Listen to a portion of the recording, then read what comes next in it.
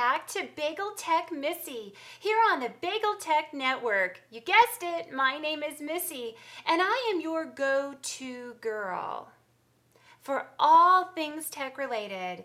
If you've got questions, I've got answers. Um, before we get started, I just want to read a couple reviews. You guys are the best. You've been downloading my podcasts, um, downloading the the video as well. But the best part of all, better than even chocolate, is that you've been leaving great great messages for me, great reviews on iTunes, and I wanted to share some of them with you. Um, I have one here from someone called Donkey Bob. Do I even need to read further? His name is Donkey Bob. How much better could it get? Okay, it gets better. Um, as I write this, I have no idea how I've survived for so long without Missy. She deals with the issues that other people just gloss over and forget. Proper advice from a worldly woman who knows. He called me a worldly woman. I've never been called a worldly woman. I'm going to take it. Um, oh, and then he puts I'm in love. Donkey Bob. You're so cute.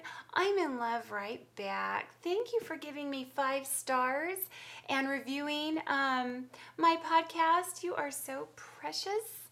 Let's see the next one, shall we?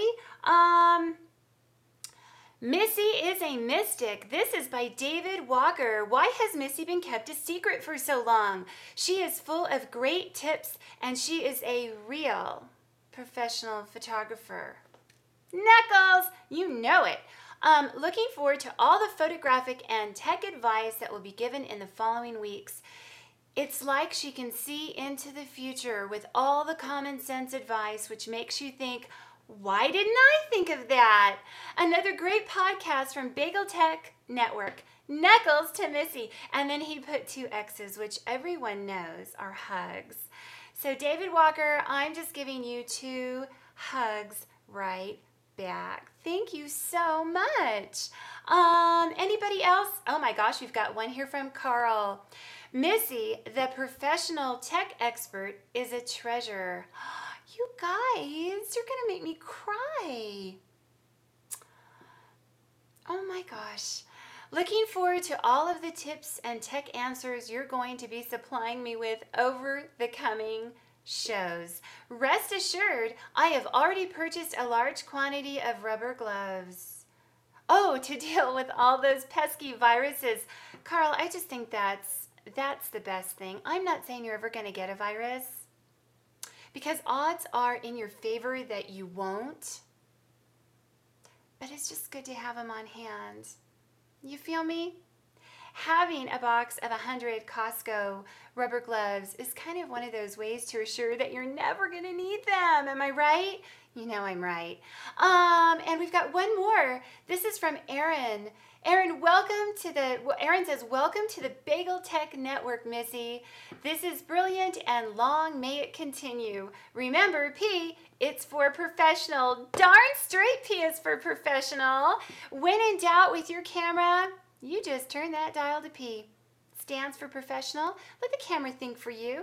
Gosh, we put so much into worrying over reading manuals and learning exposures. That's so silly. So thank you guys, all of you, for the wonderful comments and really for making me feel right at home here on the Bagel Tech Network.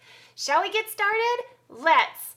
Okay, let me move all my little windows around here. I'm so bad at this. Gosh. And excuse me, I have been under the weather. Is there a British term for that? Or is under the weather the British term? You know, I really think that I should have been born British. You know, I'm not I'm not blaming anyone. I'm not blaming any of my ancestors, but I just really feel I should have been born British. You know, I want to say things like that's pants or, you know, workarounds I want to say, fancy a chat. I want to say things like that, and I can't because I'm not British. You know, it doesn't stop Madonna, but I'm, yeah, I'm not Madonna, but then who is? Um, anyway, I mentioned that to a dear friend who said, Listen, you could have been British, but you all kicked us out. And I just want to go on record saying I had nothing to do with that. Okay? All right, let's move on to the questions.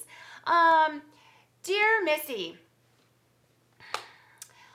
um, since I'm an all available light photographer, what should I do when it rains or is very cloudy or windy? Is it okay since I am a lifestyle photographer and bad weather is part of life? You know, I think this is one of those questions that as you're typing it or asking it, I think you kind of answer it for yourself. Do you ever do that? Do you ever ask a question and as the words leave your mouth, you think, gosh, that's silly. I already know the answer. The answer is if you are a natural light photographer, if you shoot with available light, then you shoot with available light. It doesn't really matter what the light is. Um, now, the best light to shoot with um, for shooting on location, especially when you're a natural light photographer, is as much natural light as possible, right? Um, I always say the golden hour, which is between 12 and 2, because we have all that bright, shiny, golden, beautiful sun. I mean, if a little sun is good, a lot is better. Am I right? Mm-hmm. Now, if it's rainy or foggy, that's the light that's available. And so that's the light you need to use. Um, it's kind of a no brainer. People ask me, what do I do if it's dark and there's no light? Well, hello, if it's dark, that means you just simply can't shoot. And you'll just have to wait till the following day um, when it's bright and sunny again. Okay, so remember, whatever light's available, you use it. Okay, next question. Um, dear Missy, my husband loves his technology. Hmm. And this year he bought me a Kindle as a Christmas present. Well, that was nice. A Kindle. Of course, I looked surprised and pleased when I opened it, as any good wife should. But I have to admit, I'm a little lost. He assumes that I knew what it was and how to use it, and I didn't like to look silly. Well, who does? But now that a few weeks have passed, bringing up the subject in conversation has been impossible for me. Please, can you help? Untechy of Virginia. Well, Untechy, don't feel bad. I really wasn't sure what a Kindle was either. Um, so what I did is I Googled it. And I found out that it's a little device, which you know, that's made out of plastic. It kind of looks like a really big phone and you put books in it. And I'm not really sure how you put the books in it. Um, I think you might just like open the book and then turn it so that the screen faces the book. And I think there might be some kind of scanning device, you know, kind of like, um, oh, um, gosh, like um, a copy machine and then it scans it into the Kindle. And then the great thing about the Kindle is then you can read that book or pages um, anywhere on an airplane or um, in the kitchen or in your car, which is kind of nice. Um, now, what I would do is check and see if there's some kind of user manual because unlike professional DSLR cameras, I don't think Kindle comes with a P option. Um, but what you can always do is take it back into the bookstore and ask them um, to show you how to use the scanning mechanism. And then that way you'll be set and your husband never has to know. We girls have to stick together. Am I right? You know I'm right. Okay, let's continue on. Sorry.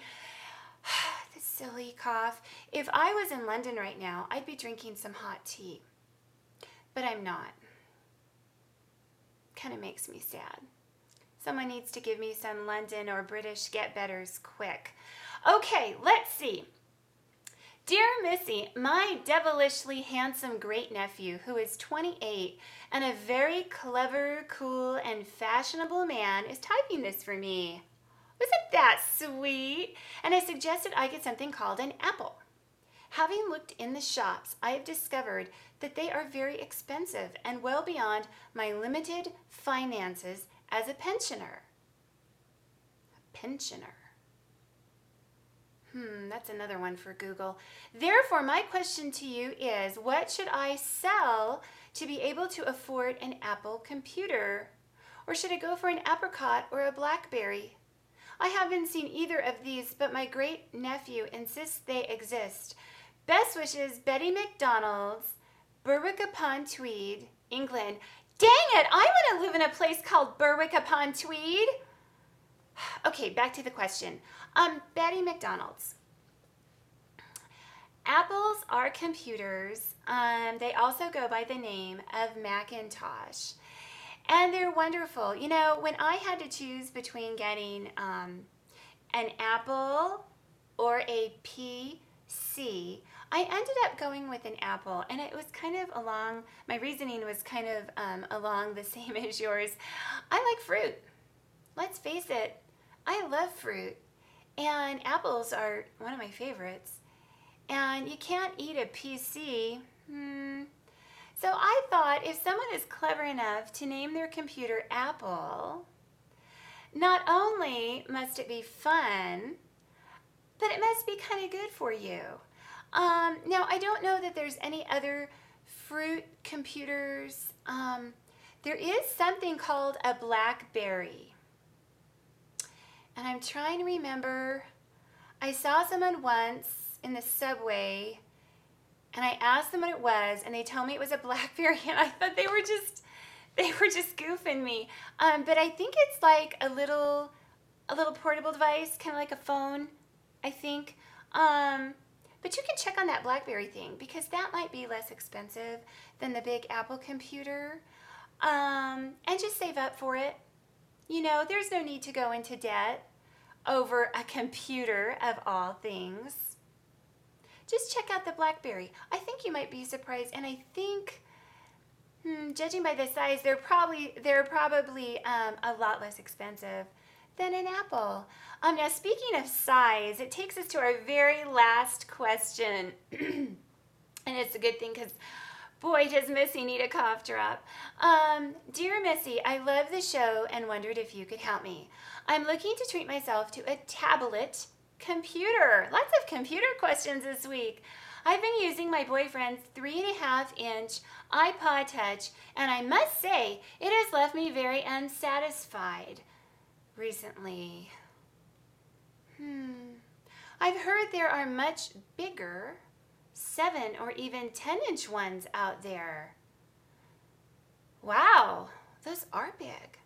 My question is do you think that size matters when it comes to these things? Intrigued of Essex. That's a wonderful question. We live in a world today where bigger is better. I mean, you go into Costco and look at their TVs, they're all ginormous there are these huge TVs, and then right next to them are these teeny tiny little, um, you know, phones and and electrical gadgets. I think that gone are the days of bigger is better. Because I'm going to tell you something. It really doesn't matter the size of the device you're considering, it's what it can do for you. I've had some giant, giant devices that have left me so disappointed I wanted to cry. And then I've had some tiny little ones that I thought, really, what's that going to do? Hello! They packed a punch, let me tell you. I mean, I told all my friends about them. I was so excited. So, really, don't judge things on their size. It's really not the size, but what it can do for you and how it makes you feel when you use it that counts.